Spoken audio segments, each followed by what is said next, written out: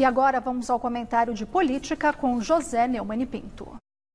No sábado, o ministro do Supremo Tribunal Federal, Alexandre de Moraes, mandou uma intimação para o presidente Jair Bolsonaro para ele explicar se, afinal de contas, ele segue ou não segue a orientação. 196 países do mundo estão seguindo de adotar a, o, o retiro total, as pessoas em casa, e com isso evitar a velocidade do contágio do coronavírus.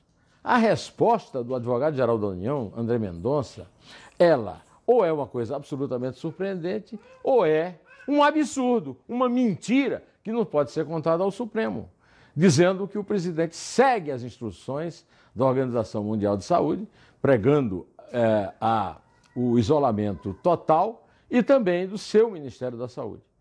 E seja recebendo os seus prosélitos, que gritavam amém, ridiculamente, no jardim é, do Palácio da Alvorada, seja passando notícias de que pretendia demitir Mandetta, o presidente se comportou como um moleque, um moleque mal educado, um moleque sem mãe, porque não tem a menor noção da responsabilidade que lhe cabe como chefe de Estado. No dia em que o mundo completou um milhão de casos de coronavírus, em que o governador de São Paulo, João Dória, demonstrando responsabilidade, amplia a quarentena por mais 15 dias, ele se ocupa em fazer fofoca contra o ministro da Saúde, dizendo que pretendia demiti-lo.